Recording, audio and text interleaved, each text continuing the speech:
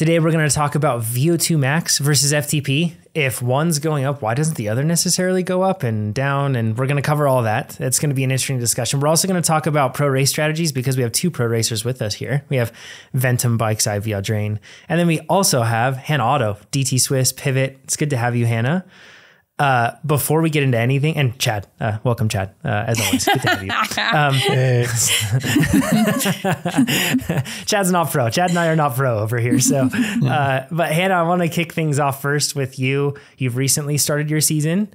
So, for those that don't know and are just listening to the podcast, Hannah is uh, a you, you race mountain bikes, gravel, and you race in the World Cup circuit, but you also race like Lifetime Grand Prix. And if you watch uh, Call of a Lifetime, that whole thing, you'll see Hannah's featured prominently. She won Leadville last year. Awesome stuff.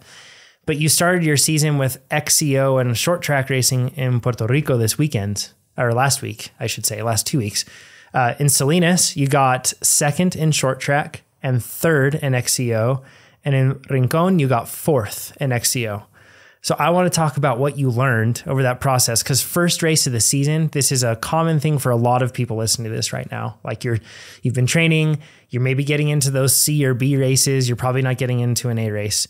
Uh, and sometimes it can be jarring when you come into a race and like something it's like wow it's really hard or wow i didn't realize that i was going to be this fast vice versa what did you learn from those races yeah i think you nailed it right off the bat which is the first race of the season can be really stressful.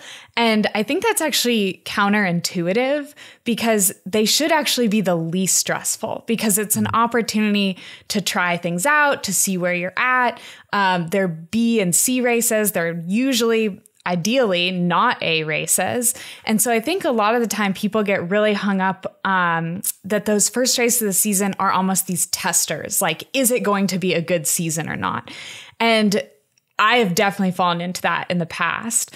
But I think with maturity and experience, I've very much learned that that's not the case. And so this was a really exciting chance for me to come to these races and to focus on process goals.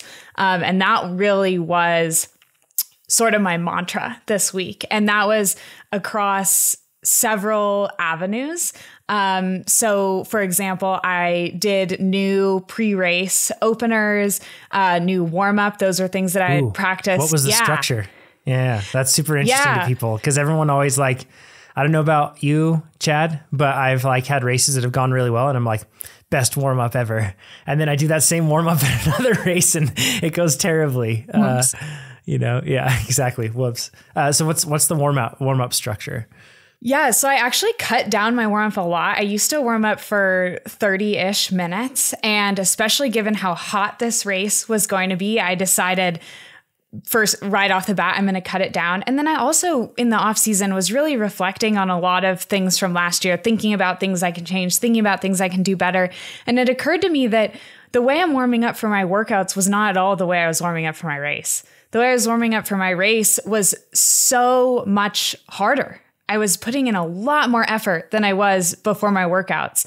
And it really hit me of, well, they should honestly be pretty similar. Because if I feel ready going into workouts, why would that not be the case going into a race? And upon self evaluation, to be totally honest, I think some of it is when you head into a race, you want to test your legs. You get so excited and you add effort after effort after effort, thinking, oh, I wonder how I feel if I do this. I wonder how I feel if I do this. And it occurred to me that I was also doing that in my openers. I was using my openers as a chance to quote unquote see how I would feel the next day.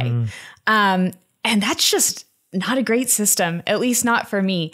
And so I cut things back in a way that not only do I feel like it was effective for me, but it also, the way I was doing it, um, I very intentionally made it so I felt like I didn't know how I felt uh, because I wanted, it, it doesn't matter. How you feel in warm up or how you feel in pre race is not necessarily going to change the outcome of the event.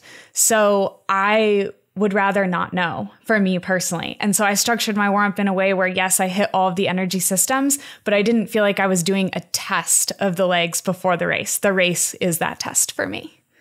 Chad, I want your thoughts on this, and then Ivy too. Um, what what comes to your mind when you're listening to this?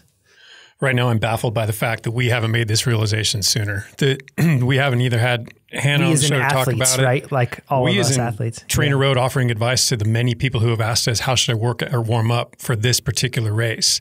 And we always we always have, I think, good answers, but we could just as easily have said, well, pick the workout that's most similar to your race. How do you warm up for that? Because it should carry. And if it doesn't, well, uh, th- then it gets a little complicated because I don't want to recommend people start tweaking their workout warm ups, but it should shed some insight into what they might need different from their workout warm up to their race warm up.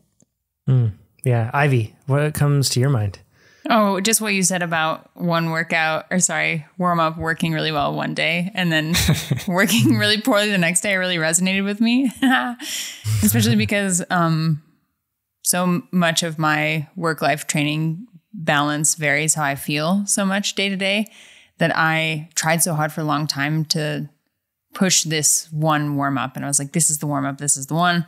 And ultimately, the number of matches I had each day just varied so much that I uh, would end up burning too much in this warm up, thinking that it would get me over to the other side and prepare me better. And I just had to muscle through it and it would be okay. And that wasn't the case. Um, So I don't know if that resonates with any of you all, but yeah. There wasn't there wasn't a like one size fits all warm up for me for every race for every workout, and I really have to for myself kind of monitor what that's like daily. Um, and it helps me better pre- prepare for the intervals I'm about to do in the event I'm about to do. You know, Ditto. And I think that uh, for me, Yeah. I think that flexibility is just so important because if you feel the need to muscle through the warm up, whether you like it or not, you're probably going to be mentally thinking, oh my gosh, this is so hard. What am I going to do in the race? Um, versus you could simply just alter that warm up and go to the start line feeling confident and ready and excited. And I can almost guarantee you that that mental outlook is going to be better than whatever warm up your legs may have gotten from muscling through it. There's an interesting concept you spoke about of about trying to reach a conclusion about how the race is going to go from the warm up. Uh, and I think that, so we've talked a lot on this podcast about approaching racing with curiosity and seeing how you can do rather than coming in and, and with like clear limitations, definitions, and a box that you get to stay within. And I can't help but think that it's likely or, or, or quite possible that athletes are instantly nullifying the opportunity to approach a race with curiosity by looking at the result of a warm up or sensations during a warm up to define how the race will go. It'd Yeah, be very forming- difficult to manage. They're manage. that. forming expectations based on minimal information. And again, this Uh-huh. this goes to back to when I said expectations are damning because curiosity is basically the antithesis to expectations. You're entering into it with an open mind, come what may. I'm Just going to see how it goes. I'm curious. And I think that that's uh, maybe it's a bit different at like the highest level, especially in some sort of sports that are, you know, or some sort of cycling disciplines that are very like measured, where it's like it's a 40k TT, right, Chad? And in a 40k TT, you kind of like even if your power does vary a bit, you know roughly the range that you're going to be able to hold, and it's and it's kind of like predetermined. But when we're talking about pack racing and that sort of stuff, that's really, truly so much of it out of our control. It's so beneficial to approach it with curiosity, and for you know it's worth saying that absolutely in a time trial context too, it's worth approaching with curiosity. Just you know, don't embrace that curiosity maybe with you know 50 watts over your goal right out of the gate or something. But Yeah, and I think I think that curiosity helps us remain free of judgment too, because when I think mm-hmm. expectations are basically judgment in advance of whatever the thing is. You're already deciding if it goes this way, it's good. If it goes that way, it's bad. But if you just enter into it curiously, it's it's neither of those things. You just take it as it comes.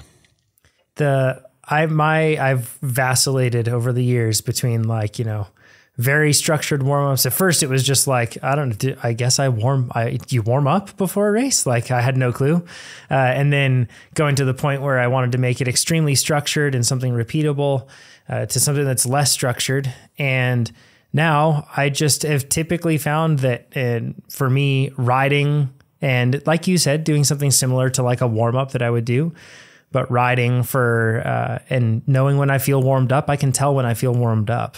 And definitely not going too hard. I'm thinking of a video that I just saw last weekend, I think, of Luca Schwarzbauer. He's the rider for the Canyon uh, team, just a short track beast. And his warm up before a short track, I thought he was going to rip the cranks off of his bike and like the rollers he was on were going to shatter. Like it was insane. And who am I to, to judge there? Because obviously that guy's an animal with short track and is able to manage it.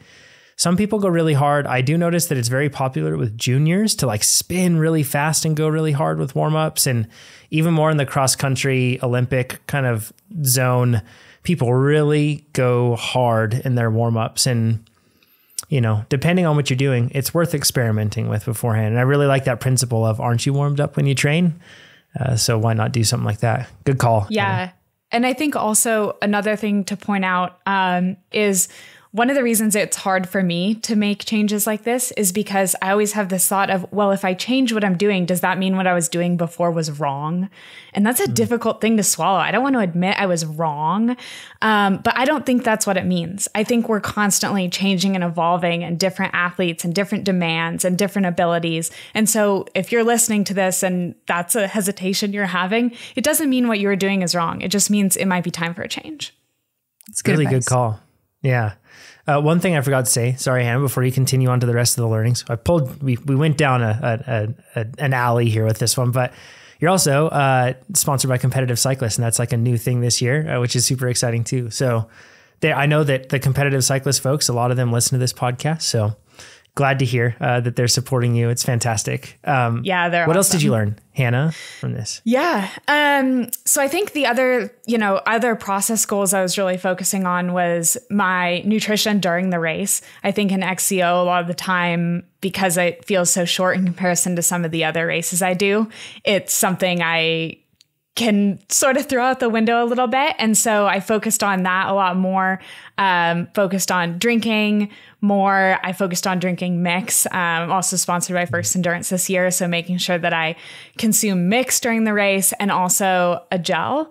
Um, and then I think another really big thing that this weekend was for was taking risks and trying different strategic moves. And that was definitely something new for me. I think because I allowed myself this curiosity going into these races and didn't just see it as, you know, the stress of where am I at this early in the season, I actually opened my mind to this is a chance to try other things. I know that I'm fit. I know that I'm strong. So let's see what happens if I do this and let's see what happens if I do that. And I had very exper- different experiences in all of the races. Um, in the XCC finishing second, I feel like I was really focusing on being patient. Um, mm. Ultimately, I you know, it was a sprint finish and I feel like I waited too long. Um, mm. And then in the next race, I was really motivated by the start and wanted to get ahead early. So I attacked really hard off the gun. And ultimately, the heat just caused a major implosion for me. Um, and then that fourth that fourth place in Rincon, I had a little bit more of a difficult start, and it was a little difficult to pass and get around people. And what's funny is at this point in the season, I actually think that my best performance was that fourth place finish. Um, and when it comes to nationals and things like that, the finish is really, really important um, that is what I'm going to look at when it comes to nationals and World Cups and things like and lifetime Grand Prix, et cetera, et cetera. But at this point in the season, it wasn't about the placing. It was about walking away and seeing what I could take away from it. And I was able to take away a lot of things from that fourth, um, including like I think the other things you can look at are the things that I worked on in the off season really hard. Did I feel improvements in those specific areas? So something I worked on a lot was technical skills, and I felt like that was a major improvement for me.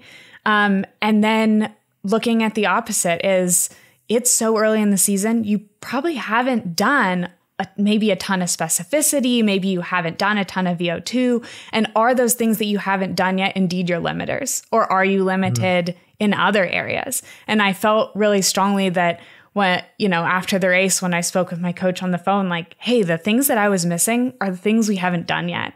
And so that's really exciting going into the rest of the season as well. I've got a handful of questions, and if anybody else has some, of course, jump in too. Um, but first of all, you mentioned that you were taking in mix and I believe a gel as well for a cross country mm-hmm. Olympic style race. How many carbs per hour roughly did you take in? Do you know? Or for the race, did you take in?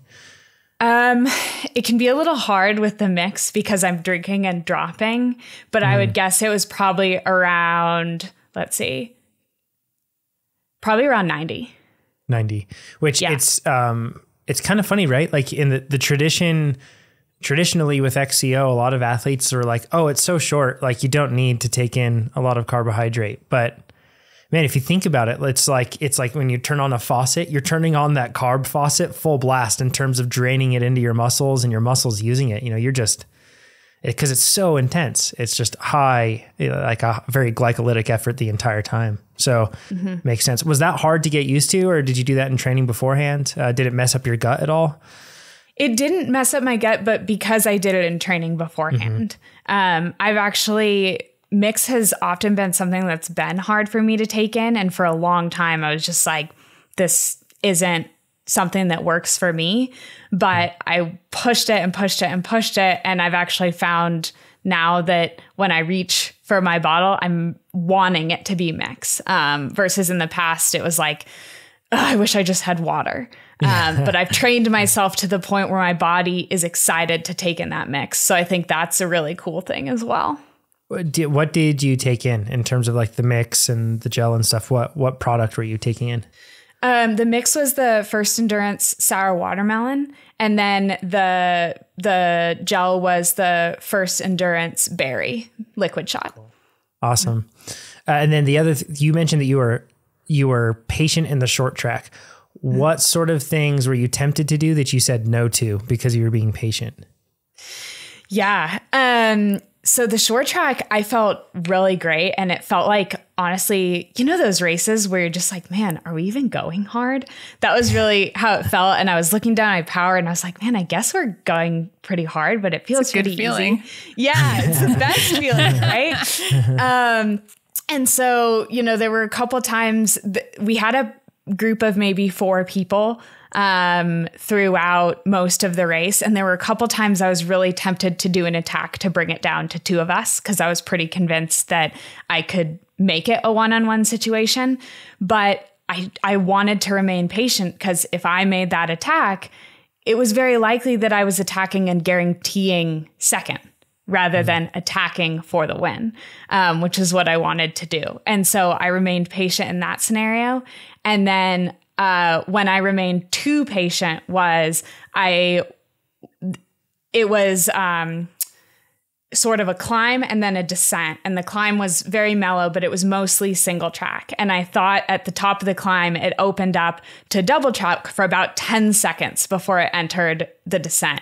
And I thought, I'm going to just that's my attack. I have to enter to the descent first. I'm going to sprint around right before that descent.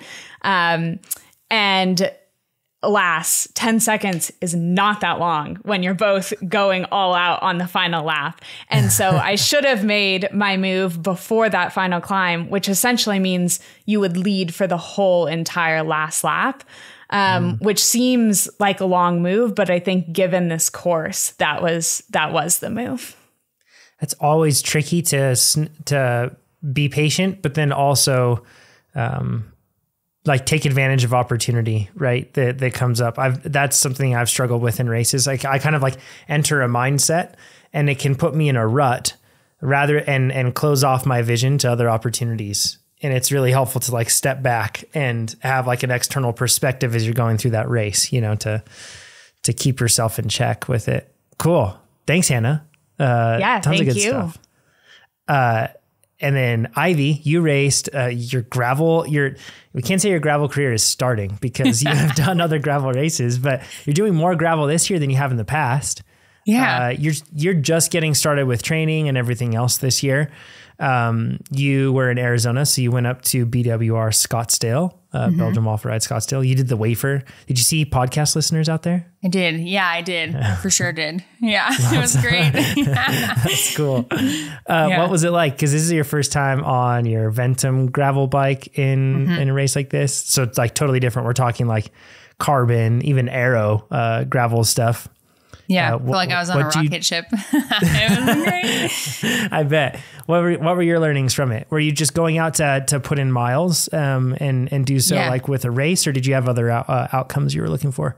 Yeah, I mean, I chose to do the wafer because, um, I mean, I haven't been training that long this year, and this would have for sure been, and ended up being the longest ride of the year for me. This is how it goes. That's okay. But I, you know, I knew we can do as endurance athletes. Like, sure, I could do the full waffle 120, 130 miles. Like, you can do anything if you eat enough and do it right, but like at what cost? You know, like I was done with the wafer, the 80 mile one, and like was like, yeah, feel great. Let's drive back to Tucson and had a bunch of energy and had fun and felt like I could go harder at moments because I didn't have to pace it quite so conservatively. Um, so I'm glad I chose to do the wafer.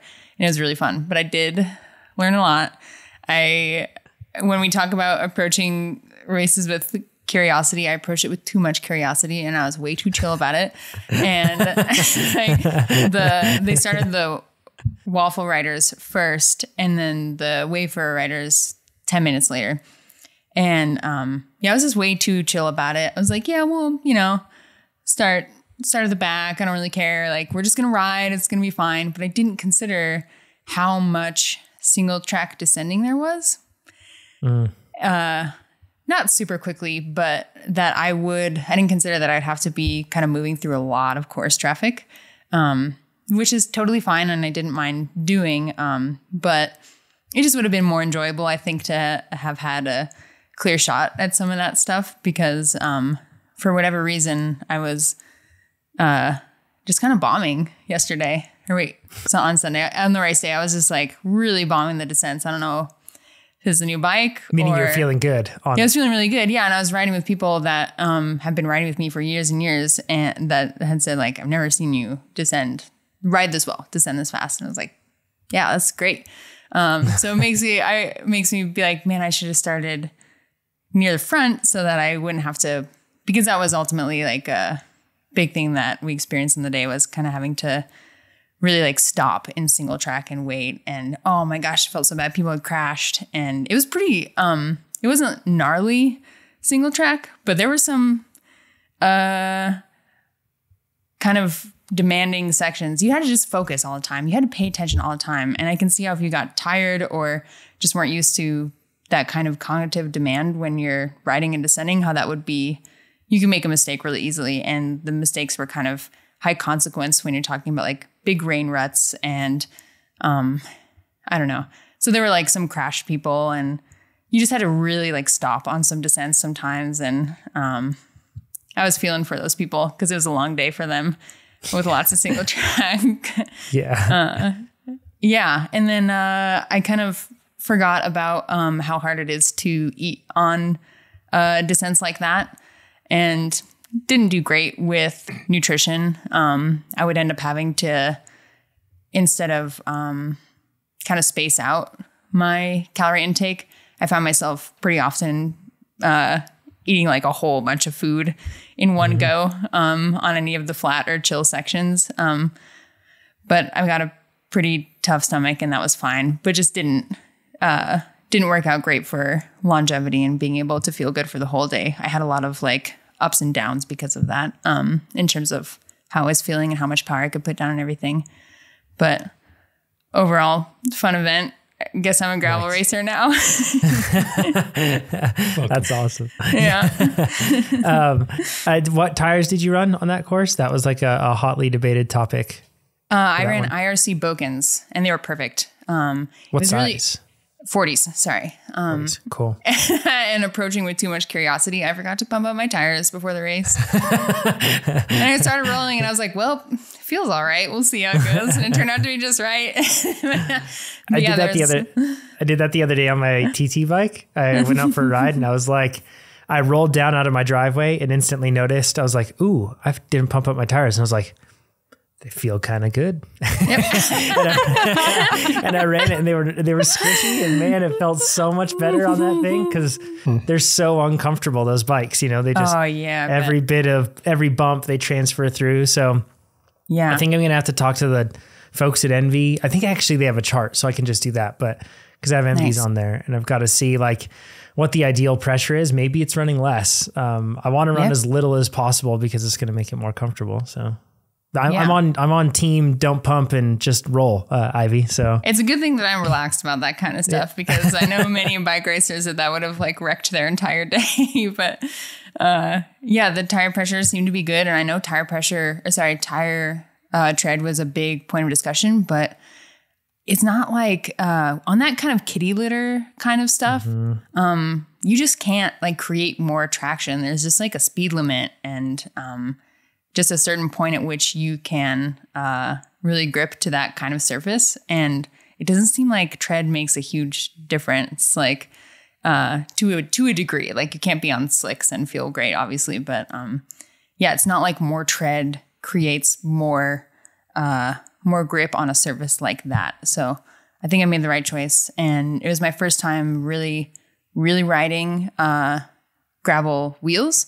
I was on EC Easton EC90 AX gravel like gravel specific wheels. Like I, I really get it actually.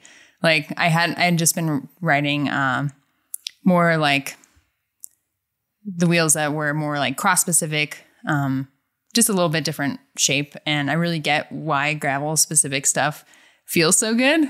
Um, Probably contributed why, to why I was descending so well. Um, yeah, makes a difference for sure. I'm looking at And that how- tire right now, and it has like pronounced side knobs. And when you're in terrain that's unpredictable like that, like the kitty litter or loose over hard sort of situation, that's like the main thing that you want is you want prominent side knobs. And in an ideal world, there's like a gap between that and the knobs. Um, so if you're going from the center and you're looking out, there's like space in between it and the shoulder knobs. And what that does is that usually makes it so that you have a more predictable lock in that you can have so that if your bike does slip, you're caught by that that gap into the knobs and it makes those knobs really bite in and puts a lot of um, pressure on those on those knobs and they're uh, biting into the dirt. So that's why like the- you'll see in some cases when the dirt's really like it's not unpredictable and it's really grippy, um, it's better to have a tire that doesn't have those big prominent side knobs. Uh, but then when you are dealing with a situation where you're drifty all over the place, you want one that has those prominent side knobs for that very reason. So And that's exactly how they worked. Like there were many, many moments where, you know, you feel like you kind of want to test the speed limit and to be able to like lose traction a little bit and feel like you can catch it right away is a really cool feeling. And like it's like, oh, that's what these tires are made for. It's pretty great. Yeah, it's like you can find the limits and then it gives you a little bit of insurance beyond that. So then that way you can actually feel comfortable finding them. Cool. Good stuff. Yeah. And how did you carry all of your nutrition and hydration? I'm always curious about that in gravel races. Did you stop in food zones? Oh yeah, I was snacking. Yeah. No, it's I was way too chill about this. Um, I and I wanted to. It was so cold when we started, and I know if I was racing, I would be like, doesn't matter, who cares? Like, just be cold, just be uncomfortable. But I don't want to be uncomfortable. I'm just doing this for a bike ride. So I had leg warmers and like extra warm hand up gloves and uh, jackets and like a neck buff, everything. And then I was like, at the first aid station, I'm gonna uh, oh, and I have I make these like packable musettes and packed it on my bike. Like it just tucks under your saddle. And like at the first aid station, just fully sat down and took everything off and was chilling and talking to podcast fans and just stashed it in along a fence and then came and picked it up after the race. yeah. So I so that said, yeah, I, I didn't pack um a lot of nutrition because I was not stressed about stopping and chilling at the aid stations. Yeah. nice. Did you just eat what they had or did you have a crew with your food? I, I just ate what they had. I did bring um, a few gels and blocks that I knew I liked. Um, I didn't bring any. I think that's something I would change in the future. Is I would bring like single servings of drink mix that I know I like. Um, I feel so bad. I don't want to like criticize event promoters and seem ungrateful that they had drink mix there, but whatever drink mix they had, just like did not. I just wasn't feeling it. I don't know. Uh, it didn't. I have a pretty tough stomach, so when something makes me feel like a little uneasy in the stomach, I'm like, oh, it must be giving other people a hard time too if it's making me feel a little off. So I would have. Uh, I would do that in the future. I would have packed like single servings of drink mix. Um, yeah, I don't know if I would ever take gravel racing seriously enough to uh, have someone support me. I would just feel bad. Oh, it's like, gonna hey, happen. go go stand in the desert for six hours and give me snacks. I don't. I would feel so bad. Chad and I will crew for you at Leadville, right, Chad? oh my we'll do that, right? yeah. Ivy, you want to do Leadville? Nope, absolutely not. yeah. Oh, Oh, good man. stuff. Wait, Well, how many cool. hours would it take? How many hours does Leadville take? Uh, oh, you you'd be somewhere around eight to eight to nine ish, probably. somewhere Sorry, sorry. there. Yeah. Uh, well, like if you four do, hours is preferred. Like first four hours, Yeah. like, yeah, I could do this all day, and then like hour five, I was like, nope, I'm done. So, well, if you do it, I'm committing Chad uh, to Chad and I. We'll travel to Colorado. Oh, and we'll, we'll be your crew. So Sure. just know that. Yeah. Okay. Sure. Chad and I have a great track record actually of crewing at Leadville. We, you know, supported Nate and then gave him a really hot giant Oh, yeah. bag of Martin, uh, which made him like completely fall into pieces on Powerline. So Totally accidental. great track record, right, Chad? yeah, I really For anybody trust listening, you you, guys to want Chad support and me. I. Yeah, no, you don't want us. yeah, exactly. Uh, but then Chad supported me thereafter, actually, when I was at Leadville, and Chad did a much better job. So it's probably just me, actually. Um, Chad I'll would take give the me fall Fireball, probably. Oh, I did get Fireball. Someone did give me Fireball. really? Yeah, it wasn't. Did they it mention it wasn't- for cramps? like we covered on the podcast? It wasn't an official aid station either. It's just a a random homie on the side of the road giving out fireballs, having a great time, and Just a local do-gooder. so happy. Yeah. That's awesome. Good stuff. Well, let's get into David's question. He says, speaking of al- or speaking of Leadville and altitude, uh, I've been using TrainerRoad for four years now and absolutely love it. I physically see fitness gains if I stay on stay on a consistent training plan. Yeah, you and me both, David. That's the key. Uh, being consistent. I've listened and good job on that. Uh, I've listened to every episode of the podcast and can't get enough of it. My question is: You always talk about elevation training, the effects of altitude but haven't touched on the benefits of living at high altitude. My hometown and where I currently live and train at is Leadville, Colorado. I'm currently 145 pounds with an FTP of 217. Do I get the same effects of having a higher FTP if I race at lower elevations? And when he's talking about same effects, We've talked about this on the podcast in the sense that if you go down to a lower elevation, your your effective FTP has increased, right? Because you can produce more power, uh, more readily available oxygen allows that to happen. So uh, back to David's question. Uh, do I get the same effects of having a higher FTP if I race at lower elevations, or would it have negative effects because my body is not used to having a higher oxygen saturation? Any insight into this would be great. Five stars. I love having the best coach out there. Trainer Road. Oh, hearts to you, David. Uh, that's fantastic. Uh, Chad, uh, what what say you on this one? I actually see some studies on here that I recognize, by the way, which is cool. Uh, I see some of the ones you've referenced. Yeah, Yeah, I'm going to go kind of deep on this one. So cool. uh, just bear with it. It- It's a, I I get a little all over the place. So it's not just a single topic droning on for 30 minutes. And before you So- go into this, sorry, Chad, but I want to give some context so everybody can understand uh, our situations here. Um, uh, Ivy, you live in Montana. Typically, is like your home base for training. Uh, Stuff. but my stuff is there. I mean, yeah, these days Stuff lives you're, you're rambling. You're all over. Uh, um, where? What's your typical training elevation in Montana, though? Uh, I think Missoula, the city itself, is between three and a half and four, maybe, and goes thousand feet one- and goes up from there.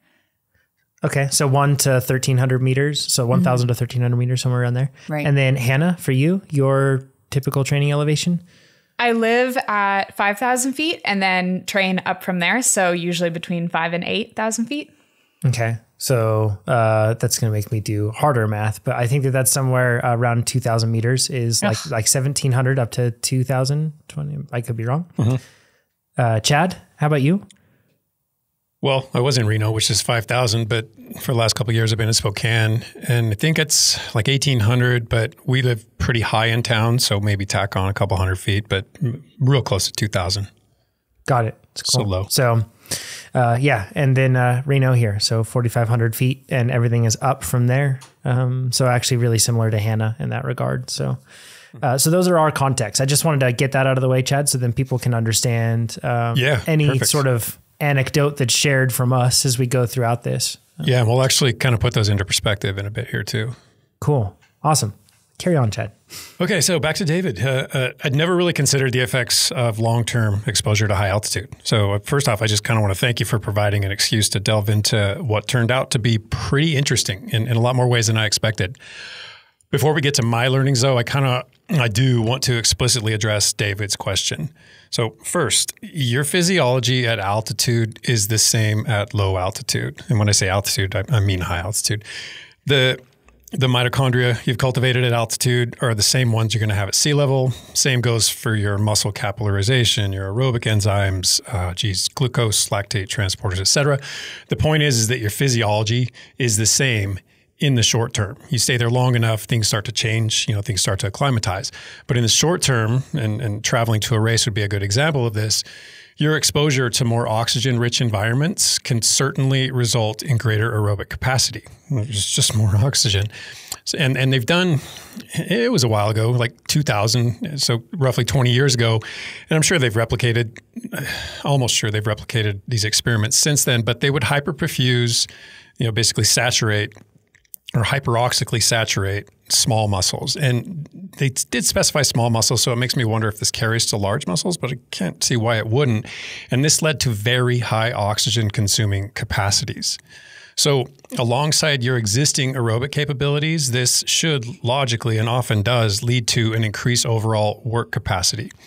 More work's performed, more watts are generated, potentially less anaerobic reliance, meaning more sparing of those vital stores, etc. So it, uh, it, sounds generally beneficial, and it does sound, and, and we've seen it bear out that you'll, you're going to eke out more power when the, the air is more oxygen rich. My, my concern, and I kind of peeked forward and I saw that Hannah has a really interesting one as well, but mine is is with your ability to actually stimulate adaptation when you're training in these hypoxic, you know, opposite of hyperoxic environments because for sure you, you, get more EPO production, more red blood cell production. Consequently, you improve your oxygen carrying and delivery capacities, but perhaps to to a less aerobically robust engine. If you see what I'm saying.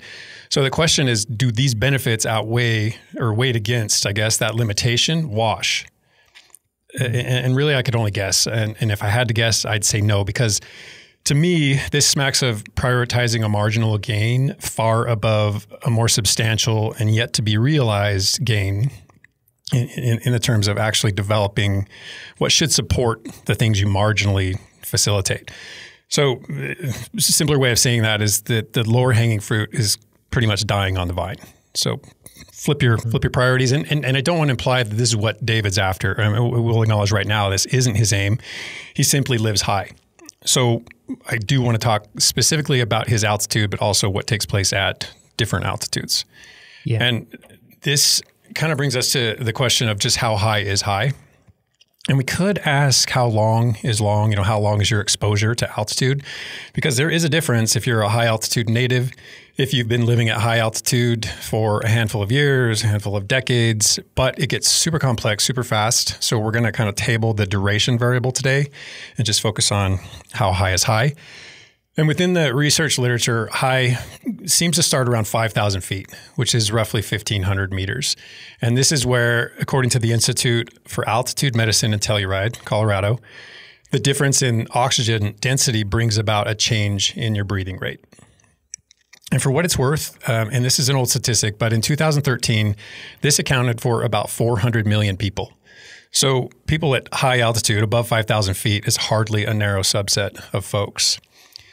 When it comes to optimal altitude, this falls at moderate altitudes of about 6,000 to 7,000 feet. And we've talked about this before. That translates to about 1,800 to 2,100 meters. And this is where most of the conditioning benefit occurs. And it's due, according to the literature, mostly to a more subtle or tolerable or really a less disruptive level of oxygen deprivation. And that's what we're talking about. We're kind of starving ourselves of oxygen. And then for David, being a bit above 10,000 feet, which is a bit above 3,000 meters, that puts him at what's termed a, a, high or very high altitude. And as a result, less oxygen density, greater level of hypoxic stress, and, well, different degrees of a few of the things we're about to discuss. That's like in. where maybe 104 mile bike races uh, shouldn't happen personally. So Hannah disagrees. That's, that's you guys. and it's like, don't remove that race. no, it's an amazing race. Uh, it's it's and anybody that does it or is going for it right now, it's such a cool accomplishment to do. So yeah, it's interesting when you layer challenge on top of challenge on top of challenge, and people still find a way to excel. It's it's an mm-hmm. exciting thing to see. Absolutely.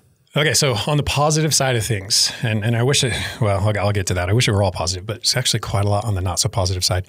First off, living at high altitude is associated with longer life expectancy, uh, lower mortality for some of the most common diseases, including, certainly not limited to, cardiovascular disease, stroke, certain cancer cancers. Uh, and then high altitude living is also associated with lower body weights. But anytime I come across this particular finding, uh, I, it has me scratching my head because what does that mean? Does that mean people are leaner and more athletic and fitter and more health conscious? Or does it mean they're eating less, they're emaciated, and dying a bit more quickly than the rest of us? Because it, it, doesn't ever really spell that out. Just just as a, a lighter crowd, basically. I would and, love to see it normalized to height as well, um, because if you think of the you know the, the, vast majority of the populations that we're talking about that live at high elevation, uh, you know, thinking of countries like Bolivia, for example, that uh, you know very densely like like huge cities like La Paz, and then we have in Colombia and Ecuador big cities, and then of course when you go over and we have Nepal and everything else they're also not particularly tall uh, in, in compared to that as well. So I'm wondering if mm-hmm. that's normalized to height.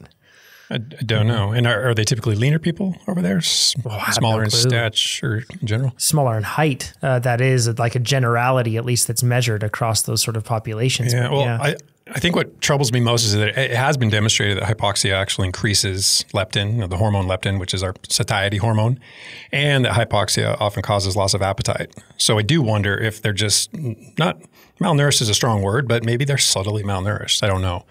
Mm-hmm.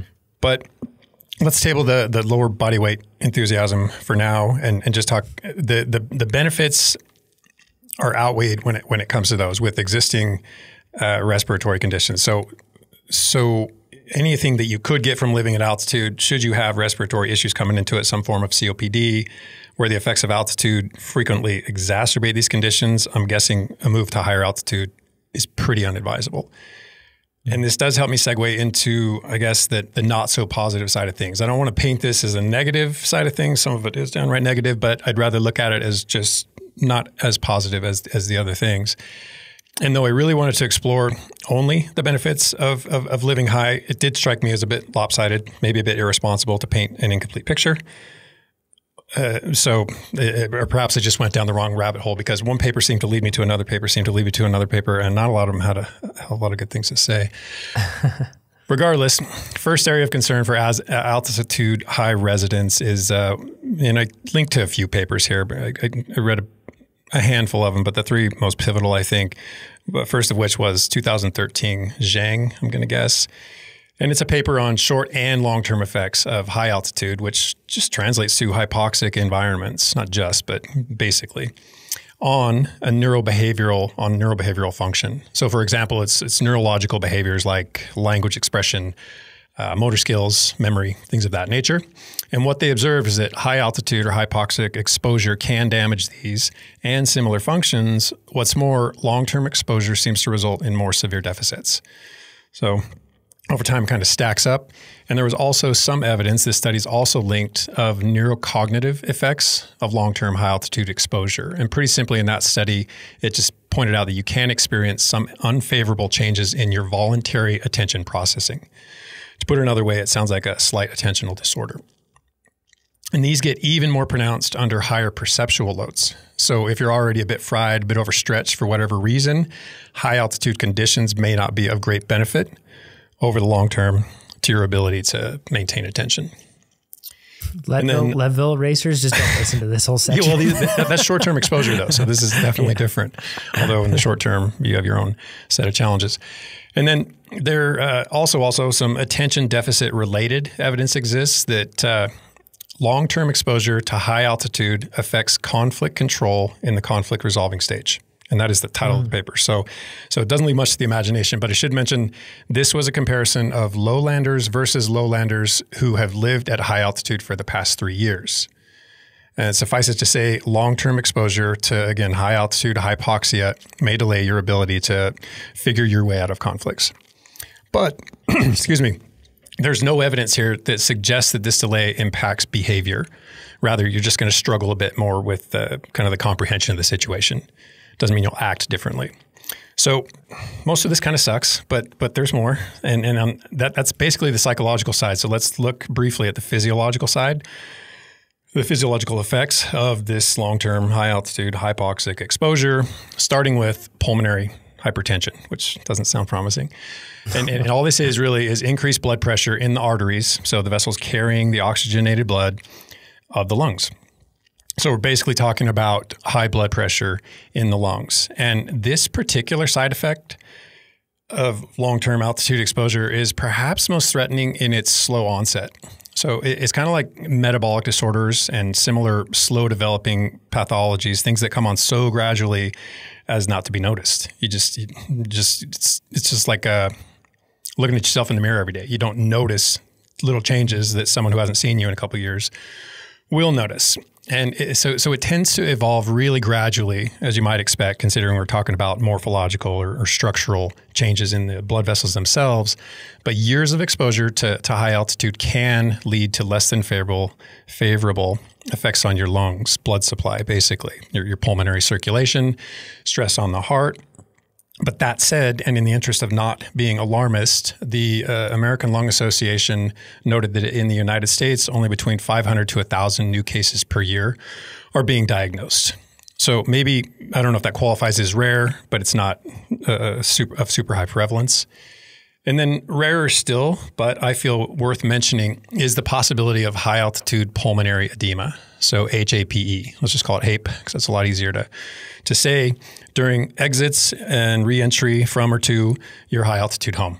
So, so fluid in the lungs is something that usually occurs as a result of rapid changes in the barometric pressure, but it can also occur in residents of high altitude locales, such that it's actually achieved its own class of HAPE titled HARPE. So it's high altitude resident pulmonary edema.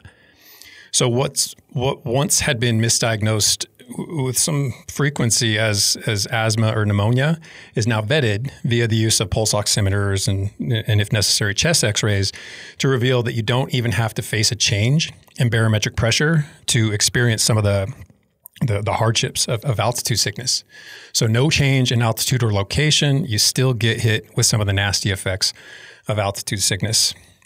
But mm. on the lighter side, I should mention that high altitude pulmonary edema HAPE is easily addressed or reversed via more oxygen. And, and there's a lot of ways to supplement oxygen, one of which is via an oxygen concentrator used during sleep. And this brings me to my final, not so positive, but not totally negative consideration. Sleeping at altitude effectively piles on to the other challenges of reduced oxygen density. And if you think about it, we're already experiencing low blood oxygen saturation when we're breathing normally at these high or higher altitudes. So what happens when sleep brings with it its lower breathing rate, its shallower breaths, well just what you would have guessed, even lower levels of oxygen in the blood. Potentially fatally low in folks with existing respiratory illnesses. But even for concerned healthy individuals, I don't think it's the worst idea to have a pulse oximeter handy. I mean, the things cost like 20 bucks, if for nothing more than peace of mind, but also because it could forewarn illness, whether you know mild or severe. And, mm-hmm. and truly, finally, for anyone who suffers from sleep apnea, these uh, aforementioned effects of sustained hypoxia ought to be on your radar. More so the higher you live. And I say this having seen a finding stating, and I'll quote, Central sleep, uh, actually, in the quote for a second, central sleep apnea is the brain regulated version of sleep apnea. So it's not the more, the, the, far more common obstructive version where something's physically in the way of the airway. Mm-hmm. Rather, this is kind of a brain malfunction that that causes, causes the apnea. So back to the quote Central sleep apnea, due to high altitude periodic breathing, apnea, affects about a quarter of people who ascend to 2,500 meters, which is roughly 8,200 feet, and almost 100% of those who ascend to 4,000 meters, which is 13,000 feet or higher. So the wow. point here is simply that the higher you go, the heftier the toll of altitude, at least with respect to sleep apnea, but demonstrably other effects as well. So there, there really seems to be, as you might expect, a point of diminishing performance and adaptation returns, and it looks like the same goes for health benefits. So this looking at this in the context of an athlete that's living at Leadville, doing all of this, and kind of wrapping back to your initial point, Chad, you're kind of like um, making this point that like you training at altitude, you know, it isn't the ideal condition to train to increase, you know, your your your output and and and abilities as an endurance athlete. Um, it's simply not like the ideal circumstance for it, right? Far, far from the ideal to the point where I wonder how anyone actually gets strong living at Leadville without supplemental oxygen. I don't, I don't know how they can get enough outside of anaerobic resources to provide a stimulus for their uh, all this aerobic adaptation that they need to be faster mm. in Leadville, for instance. What are I mean, just like as a basic recap, then what are the benefits of living up there? Because there's this there's this mindset I mean, we hear it in cycling commentary, you know, Nairo Quintana, it's like he, you know, grew up at altitude and as a result, that's why he has X sort of advantage. Is there, did you find any evidence to show that people that lived at altitude therefore have some sort of, like for, for a significant period of time, therefore have an advantage, a performance advantage? Because uh, we, only, we know about training camps, right? Short mm-hmm. two week sort of things, and where you're just trying to increase the red blood cell response. Yeah, and, then, what do they typically you know, do at training camps? That. But live high and train low. So they're still they're they're they're chasing the appropriate stimulus and then subjecting themselves to that further stressor while they sleep and, and convalesce. So, uh, as far as general health, there there was some encouraging stuff in terms of uh, Highlander natives, and you know, obviously greater red blood cell counts and, and EPO. But I, man, if I'm not mistaken, I think those things even normalize, but it's outside of our context anyway, because we want to know does it improve performance? And I don't think, again, the benefits that you get from living at altitude and also having to train at altitude wash. I think you're still taking a bigger hit to more important adaptations by, by living up there and training insufficiently than if you hmm. could just spend time there but train in a more oxygen rich environment. Yeah, it makes sense to me. And and when you get down to that oxygen rich environment, right, Hannah, it can actually kind of be problematic. Uh, you feel like it's almost like you find a new gear on and you're just like, wow, this is cool. And you're eager to use it. But then that can put you in a world of hurt too, right? Yeah. I mean, I think that this athlete, for example, if they're living in Leadville and then they go to a race at sea level, or even not at sea level, even at mm-hmm. in Salt Lake, five thousand feet lower, um, their numbers will likely look higher on their computer. It's going to feel like they gained gained something you know mm-hmm. um, if he if they're looking at 217 all of a sudden they might be seeing 240 something around there yeah, I mean, it could be like 15 all the way down to sea level yeah. it could be 15 to 20 percent yeah, that you could in terms of performance improvement that you could expect mm-hmm. a huge change imagine getting that overnight yeah you know? but one of the problems with that is your body isn't used to doing that uh, so the muscular load that it takes to push that wattage isn't something that this individual is going to be accustomed to. And so, even though their cardiovascular system or um, uh, their oxygen saturation is allowing them to do that, it doesn't mean their muscles are prepared to do that. And so, it can result in greater fatigue, not being able to hold that wattage the whole race or training.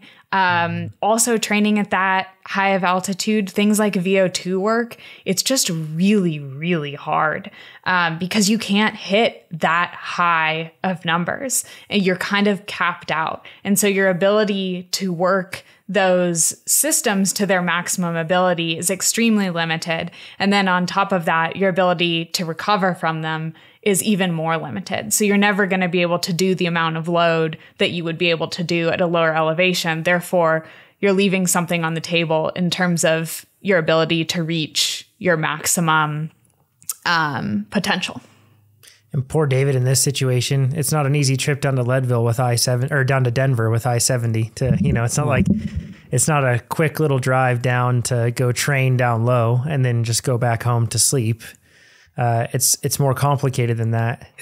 Um, and this is, uh, but at the same time, David, there there are some benefits that you have. For example, on race day at Leadville, you're used to the feelings that you have there. You aren't approaching the race with fear and with a perspective of limitation.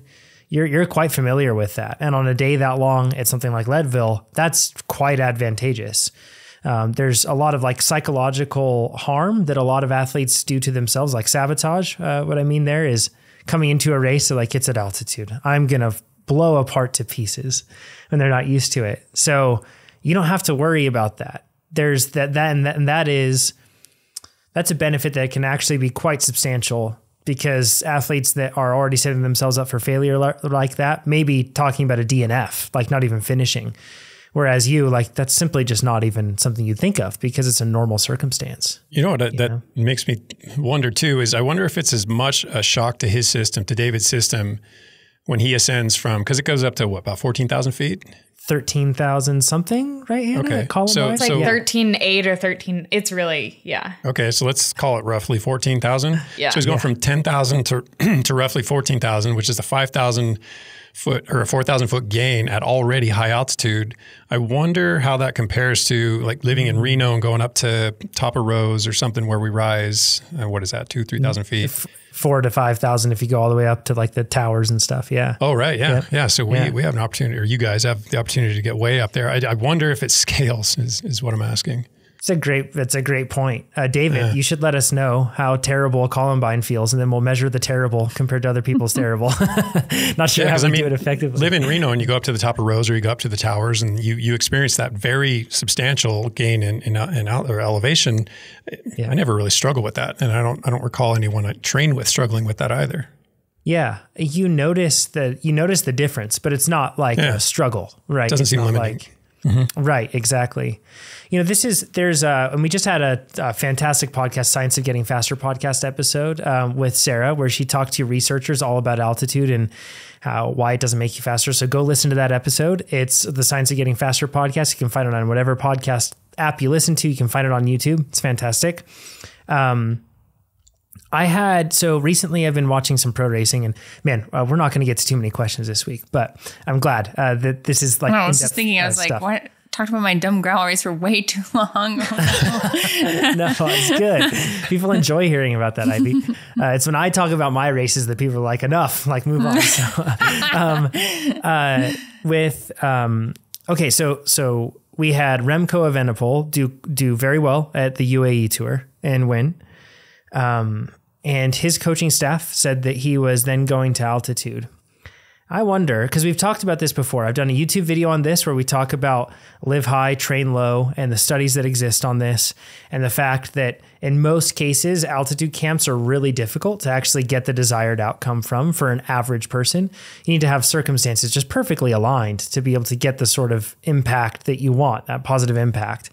Um, and it's likely, or it's it's um, it's likely that that's going to be unrealistic for most people. Pro athletes are a bit different. We have Mathieu van der Poel and his camp talking about how last year his performance at the Tour de France, possibly the reason for that was an altitude camp prior to the tour.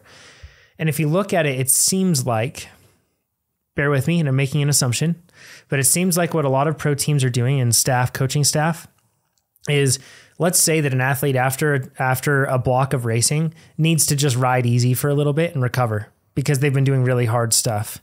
It seems like what they do is they think, well, why not get a little bit of an advantage with that by having them ride easy and recover at altitude? Because that's what they do when they're at altitude camps anyway. They aren't riding hard when they're up at altitude, but go to altitude so they can ride easy and recover. But then we can make sure that we're just boosting red blood cells. So then when they come back down, it's like a little extra bump. And I think that the risk that you run with that is that if the athlete truly needs recovery, you're just making that recovery more difficult to achieve. However, if the athlete isn't to the point where they desperately need that recovery, but it is going to be beneficial, they're thinking that it might be, you know, the juice is worth the squeeze in that regard. And looking back, and I even looked back just at like, you know, team staff announcements and altitude camps for a lot of different athletes, it seems like that's the common pattern.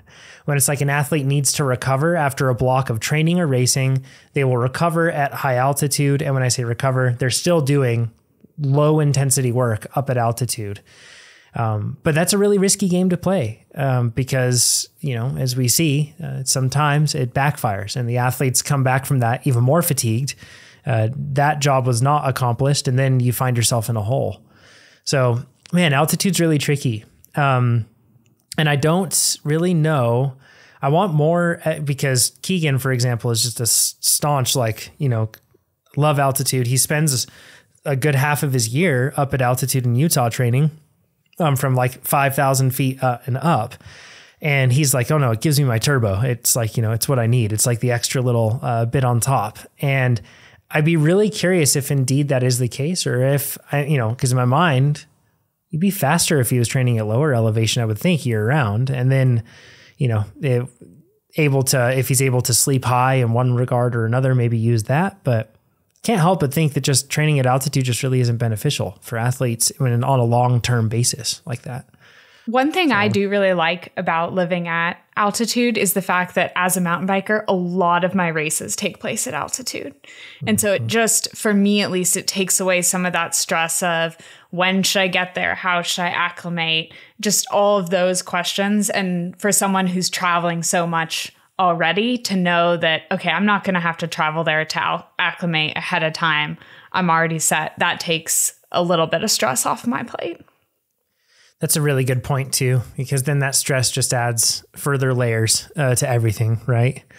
Um, yeah, I could see that. Um, all right, this next one from Blake. This is going to be a good one. This is like the the headline of the podcast. Why does my VO2 max not increase with FTP? That's basically what's being asked. Blake says, I live in Sydney, Australia, and where I am has lots of rolling hills with very little flat parts. Because of this, I started using TrainerRoad around six months ago to supplement my outdoor training and I mainly use the Train Now feature. Good to hear, uh, Blake. And if you're listening to this and you haven't used TrainerRoad yet, go to trainerroad.com, check it out, sign up. Uh, so far, my FTP has climbed from 190 to 243. That's incredible. Um, 50 watts. That's so cool. Uh, with a goal of 300 by the end of the year. I'm 75 kilograms with a stocky build from my days playing Australian rules football. Um, I probably should have called that Aussie rules football, I think, and running. Uh, during my fittest running days, my VO2 max measured by my Garmin watch hovered around 55. And what I'm finding now is that my cycling VO2 max hovers between 52 and 55, whilst my FTP continues to rise, uh, measured by AI FTP detection. Uh, which is so cool. You don't have to test anymore. Give it a shot. Uh, I no longer run due to hip injuries sustained from my time in the military. My question is why does my VO2 max remain constant even though my FTP is climbing at a good rate?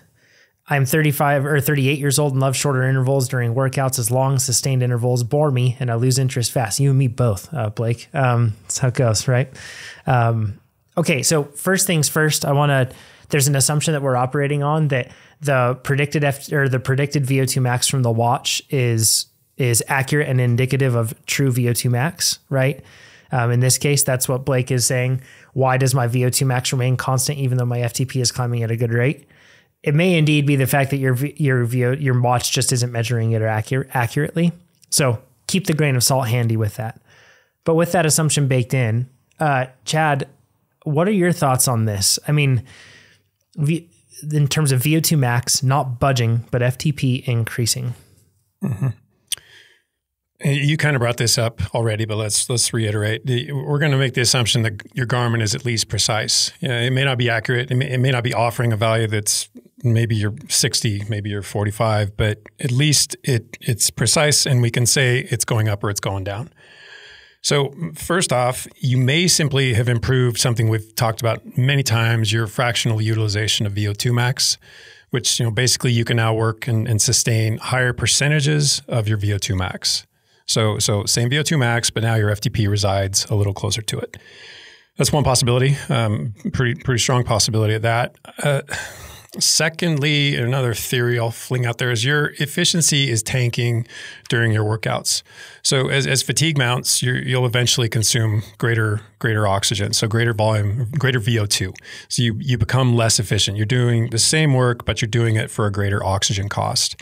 Along those lines, residual fatigue can have a, have a similar effect. I mean, just think of trying to do if you've ever done a VO2 max test, try try doing that on tired legs or a tired body.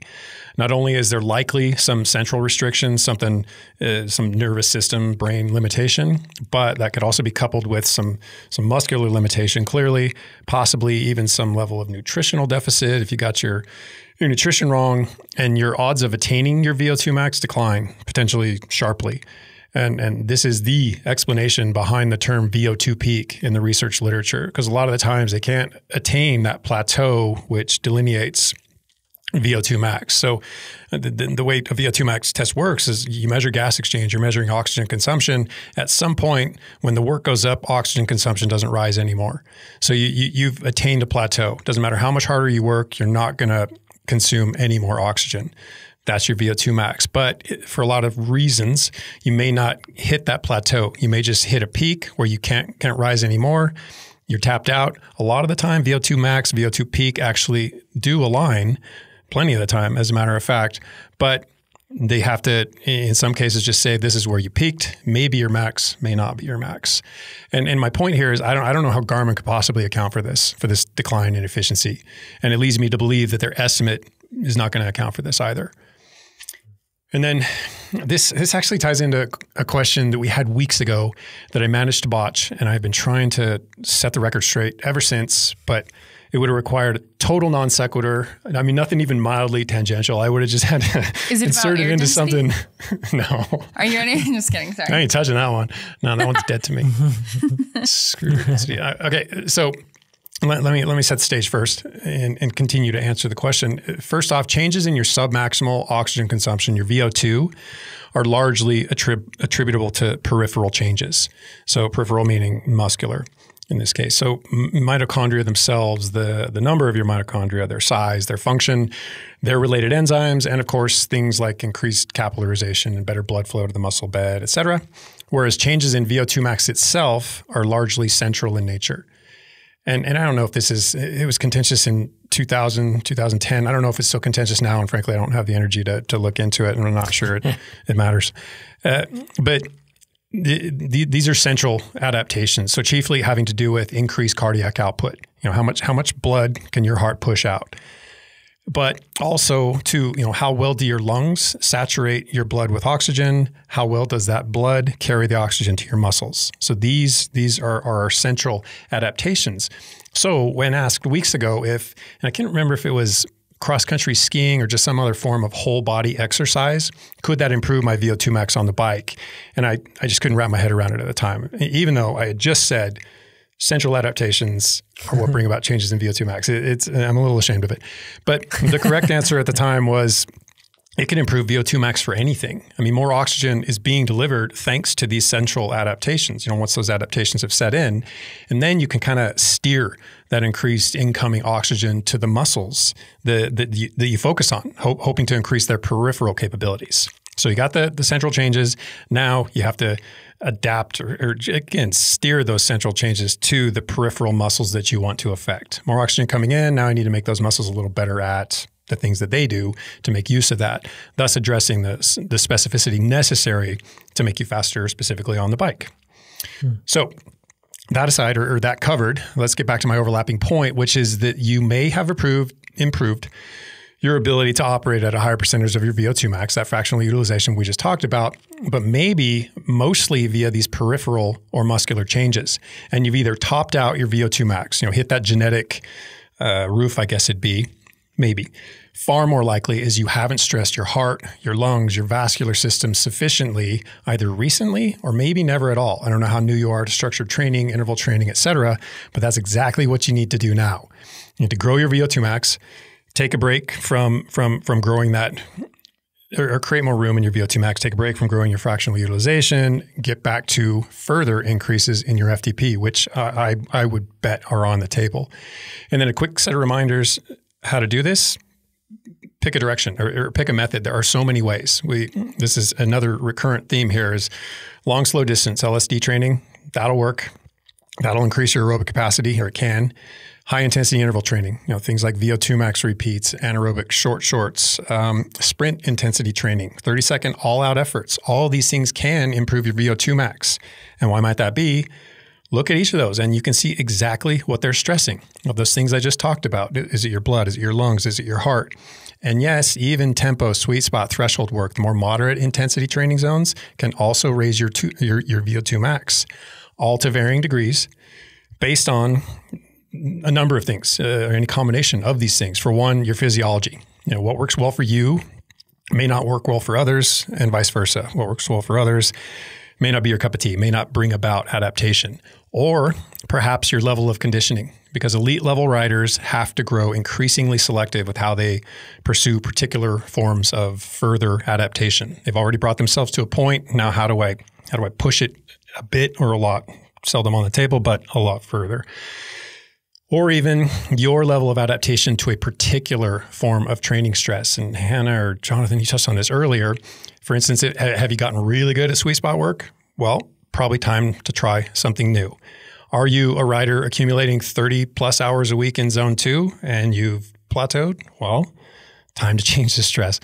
So the, the take home message Yikes. is it may in fact have changed or increased, but, but, but Garmin just failed you. And if it hasn't, well, now you know what you need to do. Uh, have you, I'm curious, um, Hannah, have you had your VO2 max test and do you remember like what the numbers are and have you seen that fluctuate over time? Um, I had it tested in college, um, and the number was 79. Um, and were and you uh, you were a triathlete at that point too? So were you running when you got this test, or was this a cycling test? It was a cycling test, and it was actually in the middle of cyclocross season. Um, so were you pretty so think, fit at that time? Yeah. So Very, I think it was a good time to have that tested. Um, and and honestly, I haven't tested since. And the reason for that is I just don't think that that number matters that much. It's a really nice number. It's a pretty number. It feels good. Um, for some of us. It, for, for yeah, you, Hannah, it feels yeah. great. For, um, for those of us that don't have 79, not so great. and and ever since reading this question, I've been trying to put this into words because it's not it's not that that number is unimportant. It's just not how I would measure my cycling fitness. Um, I think the that wattage is really the representation of our ability to execute on the bike. VO2 is while it's a representation of fitness, it lacks many things that we need in order to be a successful bike racer. And so if I were to pick a, a high VO2 number or high power numbers. As a cyclist, it has to be power numbers. And so, for this individual to be concerned about their VO2 number, um, for all of the reasons that Chad has mentioned, it's good to acknowledge it. But if you are seeing an increase in your power across your entire power curve, I wouldn't spend too much energy on it because you're clearly on a good trajectory.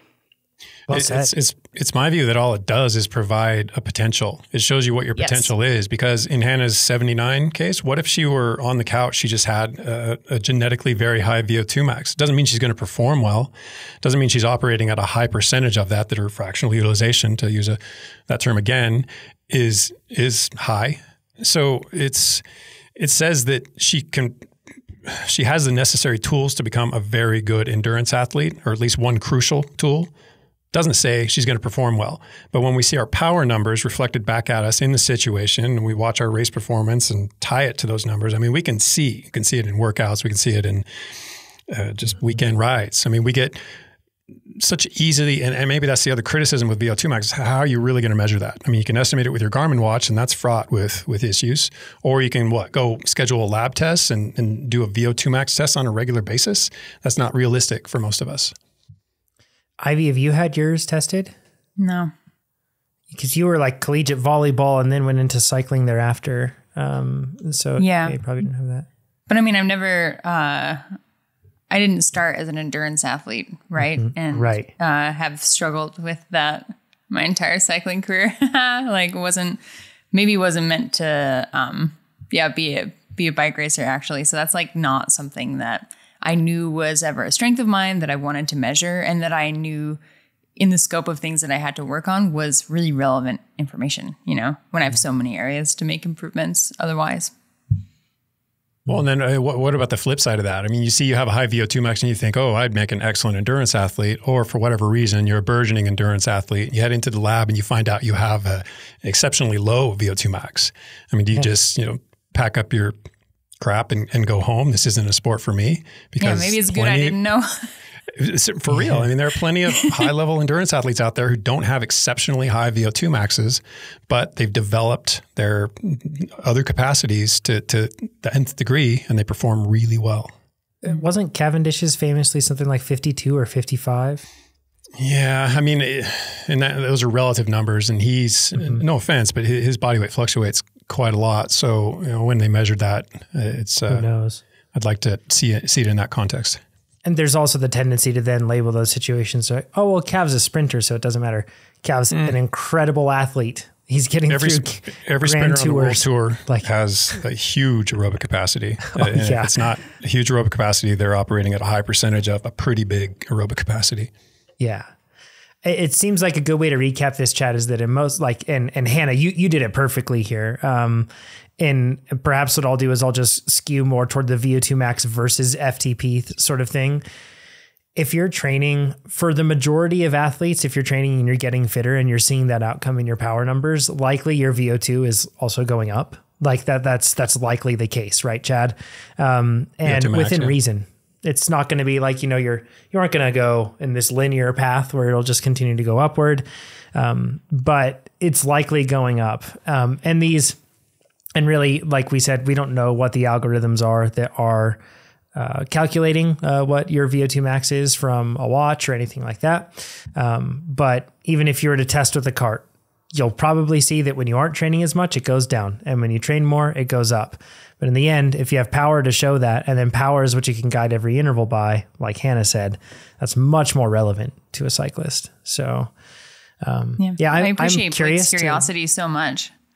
Like, it's, yeah, same, you know, right? as as we get into cycling and learn about what all of this means, like, glad that Blake is curious about it, but I do want to advise that, um, you know, as you keep getting faster, like this is not the thing to focus on or the thing that's going to prevent you from getting faster or make you get faster. Like just keep training and focusing on nutrition and recovery and the things that are in the scope of your control um, very directly, you know?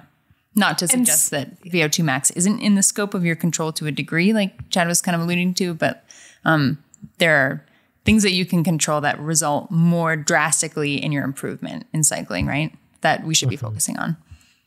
Man, and celebrate getting faster. I hear mm-hmm. so many people get so much faster and still try and discount it um, with some sort of caveat. And sometimes faster is just faster. I hear people all the time. I won the race. I had my highest powers number ever, but I didn't really feel that good. it's okay. You were faster. just celebrate being faster.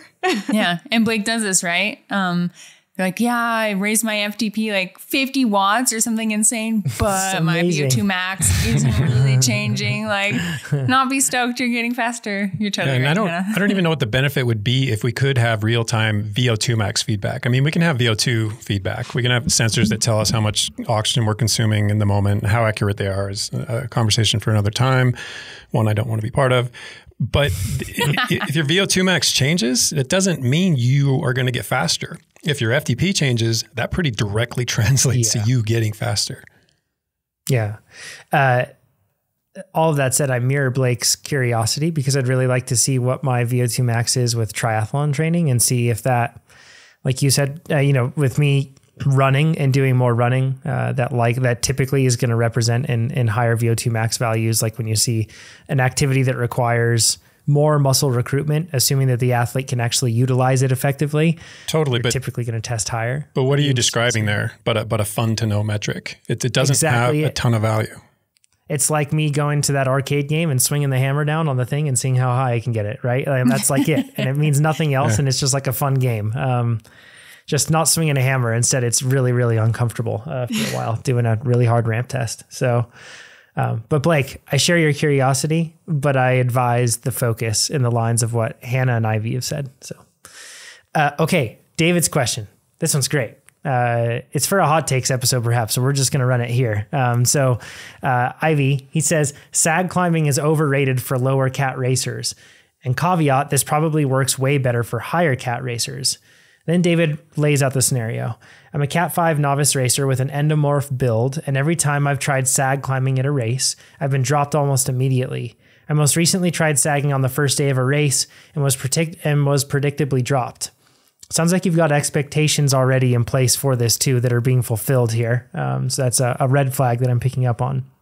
The next day, and and also just with like uh, identi- and perhaps you're just sharing this information, but identifying by our body type, like the ectomorph, endomorph, meso- all that stuff. Um, it's never done. I'm not sure it's done anybody any favors as well. Um, and particularly in cycling, um, you know, it can really uh, be something where you it makes you feel like you don't belong or something. And heck, your performance and your effort, that's why you belong. So, um, okay, the next day I hammered the climbs like everyone else, uh, classic yo-yo cat five, uh, David says, and ended the race with the bunch.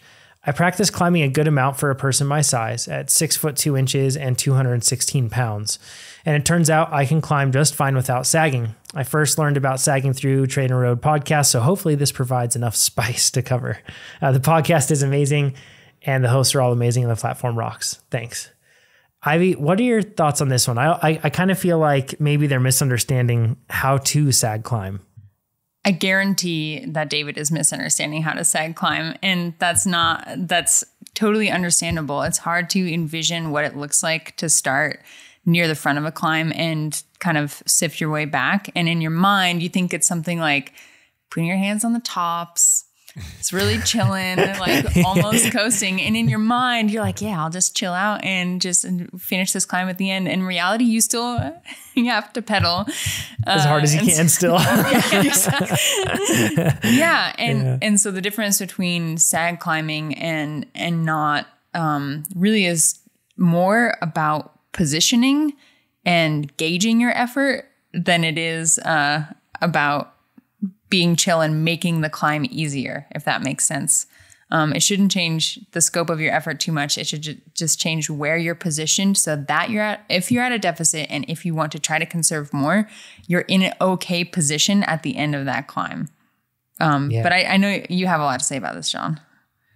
Yeah. And, and actually, I mean, if you're relatively strong to the group, then maybe you can chill, relatively speaking, on the climb, right? Like if you're stronger than everybody, then you can roll to the front and let yourself fall back gracefully. But I think that's what people have in mind right there. Exactly uh-huh. what you just described. Yeah, but in most, I don't know, for, for at least in my situations, I am not relatively strong to the group. Like I'm either, you know, right in the thick of it or not as fast as the group. So when I'm sag climbing, I'm going to the front and I know that I'm going to climb just as hard as I would climb if I started the climb at the back. And but my hope, my hope is that that effort that I have since I started at the front will leave me with the pack instead of dropped off the back of the pack. But the effort's the same. So like, mm-hmm. and we've seen this. You can look on our YouTube channel. We have videos where we've done like a local road race course that has a very steep, short climb in it. Um, that typically lasts somewhere between one and a half to two minutes for for like the pack that's going up the this climb. And you'll see Pete every time, very cleverly rolling to the front, and even getting a gap before we get to that climb, and then not gracefully whatsoever falling back to it. And in most cases, Pete would end up dropped after that climb, about 20 to 30 seconds off. He went so hard on that climb every time uh, because that was just the nature of what he had to do against, you know, tiny bantamweight climbers that were flying up it. So it's yeah, all about was, like your relativity to the field, you know, and, and you have to keep that in mind. Yeah. And, and Pete used it, I think, as a, a strategic method almost. He knew what was going to happen. But, and I guess this applies to him too, but if you're a rider who has to employ a sag climbing technique, then you know every climb you're going to die a slow death. But if you put yourself at the front of the field and just start slipping back, or rather just get swallowed up by people who are flying by you relatively, then it, it, I don't know, it gives you some sense of control. It's like, mm-hmm. well, I affected something. I at least got myself up to the front of the field, and now I'm limiting my losses ever so slightly. I'm still going to end up off the back, but now I'm not going to be as far off the back because I took the reins and I made something out of nothing. Hannah, do you have to sag climb regularly in your racing career? I mean, you're typically at the front, like you're animating and you're doing all this stuff. So I don't know if that's the case. No, I I don't sag climb very regularly. I have done it though um, in races where I don't feel good or maybe I'm coming off of illness or something like that. And again, just like you all are saying, it's not about being able to take it easy, it's about staying in the group. Um, and so when I have had to employ employ that strategy, I'm not doing it because I'm trying to save matches for later in the race. I'm doing it to limit my losses. Um, Desperation so, move. Yeah, exactly. Yeah. And so I think if you're sag climbing, that's fine. It's totally fine. But you need to recognize that, just like Chad just said, it's a desperation move. It's something you're doing to stay in the game. Um, it's it's not it's not it's not the strategy employ that you employ to win. Um, and I think what we've all heard in this in this question is the fact is the mindset that you're going into it with. And I think that at least for me, whether it's sag climbing or just a race, if I go into it and I think it's going to be easy and then it's even a little bit hard, it is exponentially harder than if I just go into the race thinking this is going to be hard. Um, no one wants to go hard when they think it's going to be easy. So I would I would change the mindset uh, a little bit. And then the other thing is if all of this still isn't resonating with you, I would ask yourself how you're executing your ability to sag climb. If you are sprinting to the bottom of every climb in order to enter the climb in first position, that is also counterintuitive.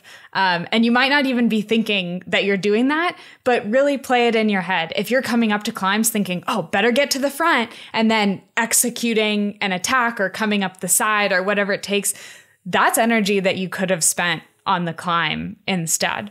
So all of this comes together. You can't think of a race as the flat section, the climb, the descent. They all bleed into each other. Yeah, this is, and when you're talking about David, relatively speaking, your intent was to communicate that you are of a larger build than the average cyclist that you're racing against. I believe that was the intent. And in those situations, the best riders that I've seen in those scenarios are ones that, like Hannah said, aren't panicking to position themselves there. They're already understanding that, like, all right, so for me to stay with the pack through here, I'll just have to make sure that I am in a spot where I am not cooked before climbs and I'm toward the front. So then my hardest effort going up the climb will still keep me with the pack. And that's just how they race. Um, and that it's it's not that they're going easy. So it's just like the the way that you kind of uh, address things proactively. I I I want to take some time to talk about other because I'm uh, now like this instantly caused alarm bell alarm bells, David. And I'm like, what other strategies have we talked about that we have not explained well, and possibly are people doing incorrectly? I want to cover a few of them. I want to cover hard race starts, and Hannah, I want to go to you and Ivy in particular on this one. But how do you know how hard is hard enough when you have a cross country race, short track race, cyclocross race, these ones that that stereotypically start out hard. How do you measure what hard enough is?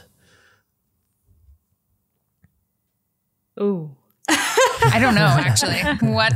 Good um, question. yeah, too good, John. Too good. Okay, I, I I will just answer this the way that I feel. good, good. That's what we um, want. I think I think what's hard enough is hundred percent contingent on the course.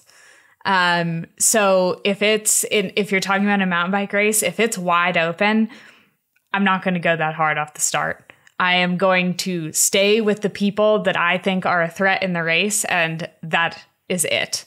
Um, if it's single track or there's a critical feature coming up, hard enough is whatever it takes to be in the right position going into that.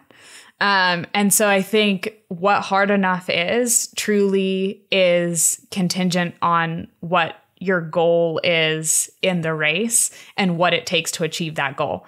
And so, how hard I'm going to start is actually a really challenging question that I do ask myself before every single race. And the answer does vary greatly depending on the train, my expectations, my competitors, my goals. And I think it should for everybody else as well. Because if your goal is purely time based and there is no single track, you should start at the pace you want to hold the whole time. Um, but if your goal is to win the race and there's a single track 100 meters up the road, your pace might be 100% all out. You're almost falling over when you enter that single track, and then everyone is stuck behind you for the next mile and a half. Yeah, yeah. But I always think, feel like it's important to remember that if you feel like you're going to blow up after that, chances are the other people that you're competitive with are also going to blow up after that too. You know, so. Mm-hmm. Ivy, do you have any thoughts that you'd want to share on this one? Uh, I'm so glad Hannah said that so succinctly because my head was spinning between all of the disciplines that I feel like I race and uh, trying to think about those start scenarios and what I actually think about, which is hard enough. And it, Hannah totally nailed it. It just depends too much upon what you're racing towards at the most immediate feature, how long the race is, who you're racing with. Um, like I'm at, if I'm at a smaller local cross race and um, I'll be racing for the win, you know, um, my start isn't going to be as hard as if I'm at a UCI race because um, it depends upon who you're racing with. You know, there's no need for me to burn a bunch of matches and do this big effort in the start if it means I could try to throw down more power later. Um, it totally depends on who you're racing with and what discipline you're racing and what the immediate feature is. Can you imagine, Chad, if we all started races based on who we were going to race with and we just competed with them? Wouldn't that be a dream? So then, like, it wouldn't be like everybody just like, especially mountain bikers, just blowing their brains out on the start uh, to get into the first turn. It's like, and like there have been times when I've done that and I'm like, look, I'm going to finish back of the pack. Like, what am I doing right mm-hmm. now? Like, I'm just group think. I'm just going along with all the lemmings here and we're all just, you know, sprinting toward our demise. and that sounds totally counter to what both Ivy and Hannah are saying. And let me see if I'm getting this right. But you guys have a clear plan with each and every race start. How, how you're going to affect that start. So it's not just to line up and kind of go with the flow. You you know very clearly what you intend to do. Mm-hmm. One hundred percent. Yeah. Uh, next one, pace lines. Uh, Chad, stopping from surging in pace lines is probably the most common way that I see pace lines done wrong. What have you done to control that for yourself, or what do you recommend to others? Um, how to keep a pace line going well? Surging into the forward spot. You mean coming from second position into first? Yeah, like uh, you know, the the common problem that I see with pace lines is that people surge too much within a pace mm. line, right? And and they do that. Um, so yeah, what advice would you have? And then we'll go to Ivy on it too. Over time, you can develop a feel for it, but initially, data provides super good feedback. And whether you're getting getting power output, which is going to be different when you're in the draft and when you're in the wind, or miles per hour, which isn't going to be different when you're in the draft and in the wind, but will vary based on the terrain. Because you know, what if now you're going uphill? um, it, so the, my point is, you kind of got to rely on external feedback data to to to help you with it. But over time, you gain a sense for what's this feel like? What's it feel like when I'm at the front? And uh, you need verbal feedback also, uh, or you can at least benefit from it from your teammates who tell you, you know, slower, softer, whatever it is when you pull through. Because because often enough, regardless of what data you have staring staring back at you on your on your head unit, you may still not be getting it right. Mm-hmm. Ivy, uh, you what thoughts do you have? I love this because I see this all the time where the reason I think people surge a lot um, to come around has to do also with the person that is coming off the front. Um, and one of the biggest mistakes I see in pace lines is once you are done with your effort and done pulling to kind of sustain that. Riders do not understand that your job is done and it is time to get get out and rest and recover. And oh, I think okay. my my perspective might be a little dramatic from things like team time trials with four riders when uh, when you are done on the front, it is your responsibility to rush back uh, to the to the back and get back in line and recover as soon as you can. And that doesn't look like hitting your brakes or fully coasting. It just looks like really deliberately reducing your effort so that you can get back and recover as soon as possible. And that's a mistake I see a ton of riders make. And it makes it harder for the person that's trying to come over the top yes. of you when you are just sustaining your effort, even though you've pulled over and you've said that your job is done and flicked your elbow to just sustain like that. You're hurting the pace of the group, you're hurting the person that's trying to come around you, and you're preventing yourself from being able to recover. So that's a, that's the Yes. biggest uh, way in which I see people do pace lines incorrectly. It's not the pulling effort; it's when you are done that people mess up. And I wonder if part of that comes from the misunderstanding that once I'm off the front, I know how hard it is going to be going to be to get onto the back again. So I'm going to hang on to some of my speed until I need to get onto the back. I think there might be a little confusion there, and it's a. You, you could probably argue that there's a, there- a little value in not getting fully off the gas and slip into the back and trying to sprint back on, but rather staying on it just enough so that you don't have to work quite as hard to get onto that back position. And it takes I'd- being cognizant of how many people are in your group, right? If you're in a group of only four or five people or two or three in a breakaway, um, you know, Chad, that you have you can't let off too much and fully coast because it's going to be Completely. a split second before you're on the back again. But if in your Yeah. group of 15 or 20, maybe do fully coast for a second, but then be Mm-hmm. aware, okay, I've passed like eight or nine riders, time to like slowly start picking it up so that by the time you get to the back, you don't have to do a huge acceleration to close this gap and be surprised when the back of the group is suddenly there. Yeah, exactly right. I have a good guideline for this that I follow. Uh, it's in between the time that I am on the front and going to the back, or the distance that you could measure or how long our pace line is. For the first half of the length of that pace line, I should be going very easy. And then for the second half, I just anticipate that I will be going a bit harder. Uh, there's nothing worse than being at the front of the pace line and looking over at a guy and be like, "Oh, so I guess that we're just riding side by side now." Like, like get out of here! Like, get back it's so frustrating um, because it's completely denying it. And then also, whenever you go to the front and you surge, the best way, like Chad said, and the way that I found is not going by power. Eventually, you'll get RPE really dialed in, and you'll be able to just hold on to that feeling of how hard it feels, and that's very important. The what I've found much more helpful in a paceline situation before that becomes calibrated than power is to rely on speed. When you are the second wheel, unless you're going through a terrain that's really changing in between you being second wheel and the third wheel, just maintain the speed. Like and and feel what that feels like. And what it'll feel like is suddenly your power will go up, but then after that it will stabilize and then it'll drop back down. If you're in a then group of 4, it should look like you are doing something that basically looks like you if the front effort is an interval, then after that you'll drop back down and then it slowly la- and then it it'll ladder back up and like it will constantly ladder back up. There'll be a little surge and you get back onto the back, but it'll be like Tunnabora, like that workout that you see where it just steps its way up minus the step down part. You'll just do like repeated little ramps. And that's what it really should look like. And uh, if it's done properly with a group that's really working together well.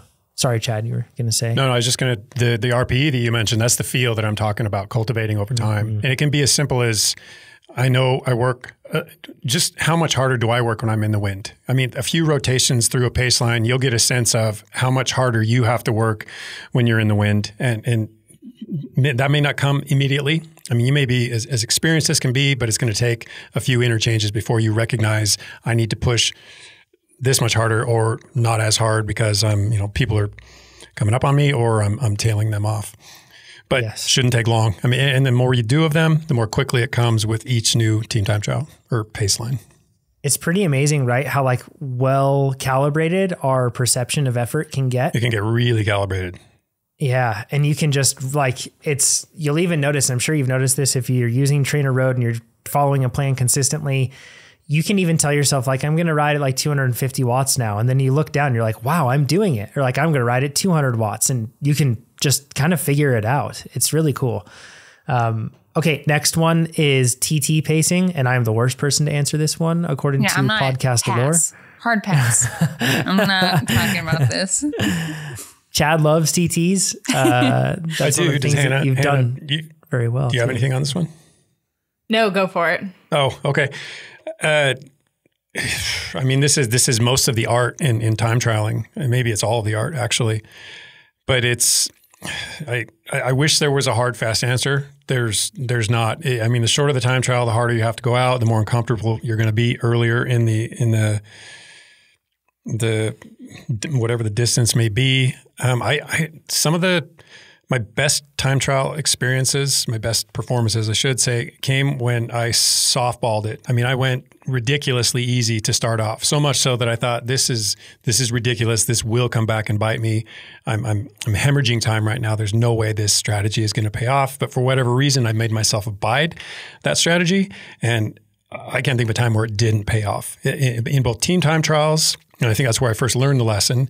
And then individual time trials. It, it, should, and not the whole lack of perception. I mean, look at your power. Say 350 watts feels easy. I know I can't do 350 watts for more than a couple minutes, but it feels easy. So I'm going with it. No, no, no. All that aside, it just has to be the, the numbers are telling you it's easy. Your perception's telling it's telling you it's easy. Everything says this is easy right now, and it's probably too easy. And I'm worried about how easy it is. That, yeah. That's that's what's worked best for me. I, I've heard. I remember Wiggins. I think talking in his book, or maybe it was that film, A Year in Yellow, um, that he would get out of the start hut and just get to whatever he figured his average speed would be, and he would do that as quick as he could. Then after that, he would put put that to bed. Like he would he would no longer think about a hard effort ever again. Hmm. After that, it was just holding that you know holding that effort of what it took to then sustain that speed, right? Um, but then I've also heard different uh, reports where athletes say that, like, I don't worry about ramping up to get up to whatever pace or anything else that I want. I go out of the gate and I go intentionally easy as I roll down the ramp or as I start off from the gun, whatever it might be. Well, and I, One of the, I do think we should clarify right now what easy is. it's very mm-hmm. relative. It does not mean it feels good but it, it is, mm-hmm. is noticeably easy because you know the pain that's coming and, and it's not that painful right away. If it is, that's that's that's when you gotta I mean not literally put on the brakes, but definitely ease off the gas. One thing that I've found is that you you probably will know how long the time trial is going to take you, and you'll probably have a good idea in terms of what sort of PR you currently have for that, especially if you're using TrainerRoad. It pulls all that information for you. And you'll see what your 17 minute PR is if that course is going to take 17 minutes. You'll know what that's like uh, one guideline, and I know that Nate likes to make me out to be a terrible pacer. I actually think I'm not too bad um, at it. So, um, and one of the things that I have found a lot of help with is sure, I might go hard out of the gate really quick. My body is able to swallow and absorb those sort of anaerobic little spikes really easily. And that's not a big thing. So I might get out of the gate quickly and then settle into that pace. But for the first half of the race, I stick to the bottom end of my power target. And then the second half of the race, I let curiosity take over. And that doesn't mean that I'm going to be surging all over the place. My normalized power and my average power are still just tight. They're within a one to two watts of each other at the end of it, right? So it's still even pace throughout. But I feel like it's really helpful for those of us that have eyes bigger than our stomachs or bigger than our legs, as it were. It's easier uh, to sometimes hold to that power target for the first half and then allow yourself to stretch thereafter, like Chad's saying. Um, it should feel like you are okay. This is this is absolutely sustainable, and I'm leaving something on the table here. And that's likely going to be a faster way to finish your time trial. Having, having thought about it for a second here, it's basically a belabored description of negative splitting. I mean, that, that's yes. all you're doing. That's it. Yeah. Uh, okay. Uh, two more sand and mud sections. Uh, uh, this just this weekend, I'm thinking of Belgian waffle ride, uh, oh, Scottsdale, yeah. and the finish how they went into the sand, and that was like the difference maker between the crazy good racing between Chris Blevins and Keegan, just attacking each other nonstop for like the last like 15 miles. Chad, it was so cool. Um, Has this um, been covered yet? They on they YouTube like or? they covered it just on their like Instagram stories, and while it was good coverage, that does that's not sticky. It disappears. Um, mm-hmm. It'd be mm-hmm. great if they actually found a a good way to do it. But it was just like wild. It was like Keegan attacking with everything he had, then Chris counterattacking, and then mm. I think it was like uh, Keegan did six attacks, Chris did five. Um, just all out brutal over rollers attacking each other sort of things. But they went into sand at the end. And Chris mentioned that whether it was line choice or something else, he bogged down and Keegan was able to carry momentum. And that was the last match, the straw that broke the camel's back. And Chris came un, un, unattached and, and Keegan was able to hold it to the line, just the end there. So, but Ivy, what do, what do you do in sand sections? Because I see a lot of people just go into sand sections thinking they need to just, it's where you ride hard. Yeah, drill it, right? And they just think more power or something is going to fix it. Yeah. and carrying too much speed into a sand section can really backfire on you. yeah. Um, absolutely. But yeah, in answering the question of techniques that you can do incorrectly, for something like sand and mud, mud, honestly, I think the way you can do it incorrectly is not practice it because it's uh you know, like many of these other skills, something that is so circumstantial that's different in every scenario. Um, when you're thinking about the momentum that you can carry into a sand or a mud section, you know, if someone like Hannah who experiences like a really muddy section on a climb, you're not going to be able to carry a bunch of speed into it, and you need to think deliberately about your gear choice before you get there. And the same goes for sand and mud. Depending upon the run into that section, will determine your how much momentum you want to carry into it, how much you should try to scrub, if any, the gear choice you select going into it, not to be shifting into once you're there and going, oh no. And um, and so that said, there's no like perfect power or gear to be picking for this, um, or cadence or um yeah, uh what am I trying to say? It varies too much depending upon the length of this of the section, the kind of sand and mud you're riding in. That varies too. You need to really practice this to understand how you best carry momentum and speed and feel comfortable, so that you you know what to do when you get in that scenario. You know how what gear to throw it in in relation to your speed and momentum before you get there. I've seen a lot of athletes like go through sand at wide ranges of cadence and still have success. And one thing, like if you go in with a higher cadence, it's easy to unweight your bike, and sometimes that can be bad. Sometimes it can actually be helpful. It depends. Um, and whereas if you go in with like a slower cadence, it can help you maintain more even torque and more momentum. But boy, if you get bogged down with a slow cadence, then you just don't go anywhere. So, um, but the the one thing that I've the just rabid power output, thrashing, doing whatever you need to to just put out more power and roosting sand all over the place, that doesn't seem to be what I see Ivy do. Uh, I'm thinking of Tobin Ortenblad and like you know good cross or good cyclocross racers that I watch. It's like you're really smooth. And it's almost like you're prioritizing like you want to like surf it and stay smooth rather than just put out brute power. Is that accurate what i'm seeing? Is that representing also what you're focused on? Totally. Uh, and when thinking about too high of a cadence like you you're just trying to maintain power as much as you can as smoothly as you can for as long as you can so that can can look like having a higher cadence a little bit at first, but when you see that big like rooster spray of sand, like sure it looks cool, but that's not a good thing. That means that your rear tire is slipping and you know, you're you're just burning power. You're just wasting energy in that circumstance. Um, so you're right that when you see riders look really smooth, it's it's very intentional and it's done to maximize the use of your power. Mm. Uh, what what about you, Hannah? With uh, I know you've done cyclocross, but then also some of the cross country races you did last year in the mud was just absurd. Um, what sort of recommendations or, or, what common things do you see done incorrectly with mud in particular? Ooh. Um, I think a lot of riding in mud has to do with how you're weighting your tires. And so a lot of that comes again like ivy said from experience and understanding exactly what side what type of weight you need on that tire in order for it to gain traction. Um, too little and it's just going to spin out too much and you're going to be torquing it so hard that it's again spinning out. And so actually um, like we're talking about here in really muddy races especially if it's a climb it's usually not super high power. A lot of the time, it's a very finessed effort.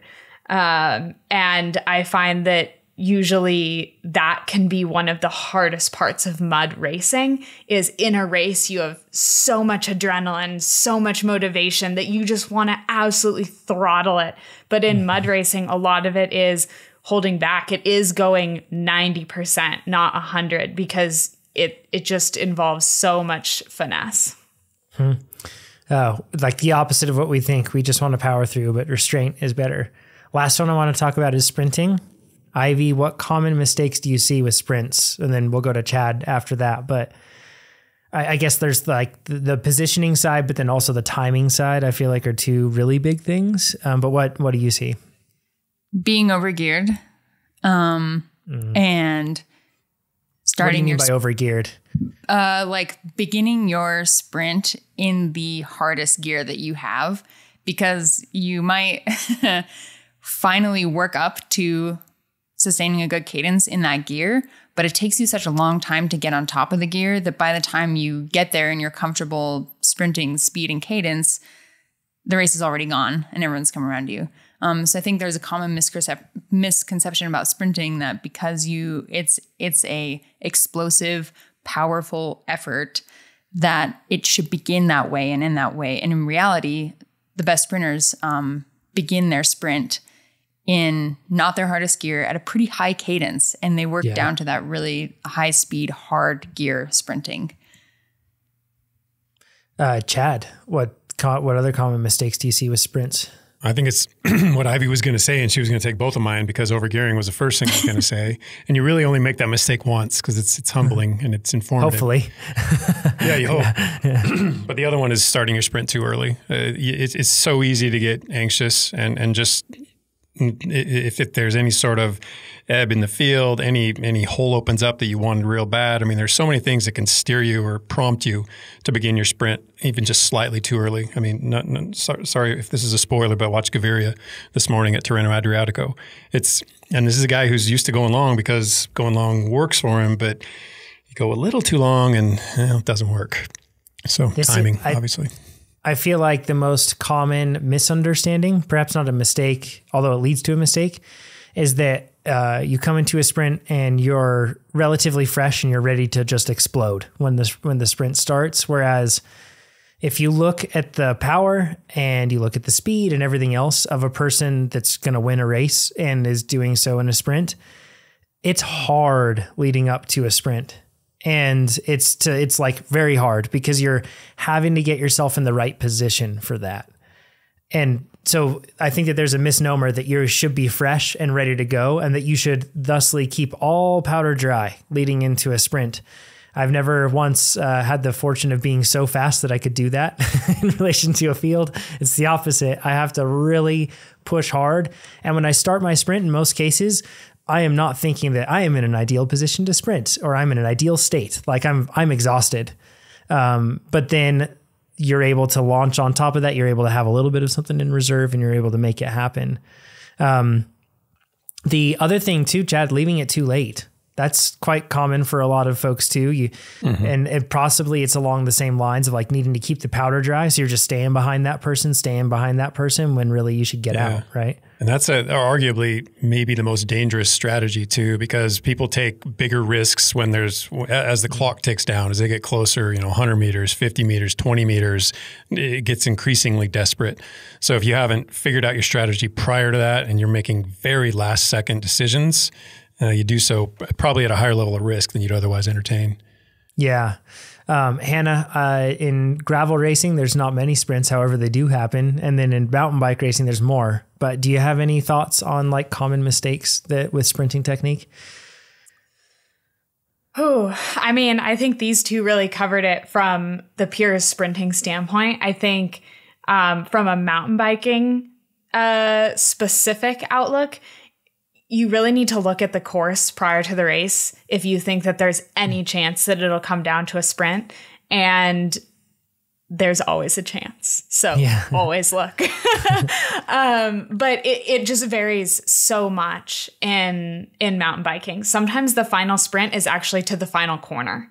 Um, sometimes it is to the finish line, but sometimes it's to the last single track, and it, it can be difficult to make those those decisions prior to the race. But I think it's important to have a plan because just like we're talking about going too early or going too late, it's really extra hard to make those decisions when you're already tired and seeing double.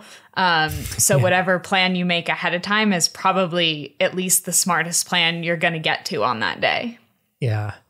With cadence, to give people uh, a good tip on that, because I'm thinking of like short finishes. Sorry, uh, I'll drop the cadence thing for a bit, but short, like finish line straights. Sometimes you want to be the first person into that corner. If it's like 100 meters to the line, something like that, like you want to make sure that you are the first one through that turn, or else you're going to have to try to make a pass and somebody's already sprinting at speed that you wouldn't be able to come around. Um, with cadence, it's way faster than most people think. And it's really helpful to go out and do sprint workouts with somebody that's a good sprinter and then look at your numbers thereafter. It's not uncommon at all for you to start your sprint above 100 RPM and then to sprint into 120, even higher than that. Uh, you'll see, like, we kind of misunderstand that force is power and that that's going to make us go fast. So we just think like big force into the pedals, like pulling on my bars hard, pushing on my pedals hard. And that's not it. That's not how you generate speed very effectively. Um, and so, you know, we need to be in that right spot and it's almost always faster than you think. Uh, so getting really good at that, at being able to control the sprint at a high leg speed is also very important because in most cases, even in your sprint practice, the race goes way faster than your sprint practice. You might find yourself running out of gears real quick and having to sprint on what feels like a granny gear. So yeah. I think the the lesson in all this is we need to be practicing all this stuff regularly. Yeah. Yeah. Mm-hmm. If you're a bike racer, like it's the cool part is all this stuff is fun to practice too. Like pace lines, even it's a blast to practice that sort of thing. Time trials, not so sure if it's the funnest thing to practice, but you know that's why I'm doing triathlon, right? Um, yeah. So, uh, okay, with that, thanks everybody. Hannah, thanks for joining us. As Congrats, Hannah. Me crushing it. Yeah. You too. What's what's your next race? Um, the U.S. Cup at Vail Lake. Okay, cool. The one down in uh, California, Southern California. Mm-hmm. And then when's your first, when's the first Lifetime Grand Prix this year? Sea Otter. Sea, oh, yeah, of course. Sea Otter. So that'll be exciting. You did pretty well at that one. Is there, no, you crashed at that one last year. Is that right? Yeah, I crashed. I was doing really well and then yes. I crashed. So time for some redemption.